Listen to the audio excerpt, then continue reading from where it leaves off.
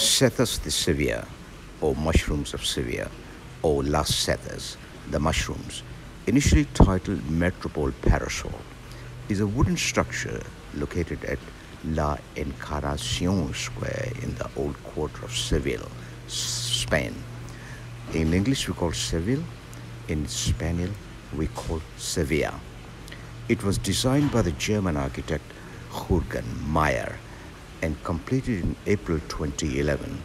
It has dimensions of 150 by 70 meters, which is 490 by 230 feet, and an approximate height of 26 meters, 85 feet, and claims to be the largest wooden structure in the world.